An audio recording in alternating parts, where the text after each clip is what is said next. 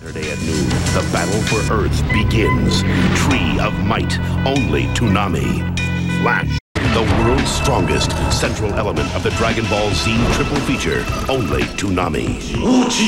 Dead Zone, final epic in the DBZ triple feature.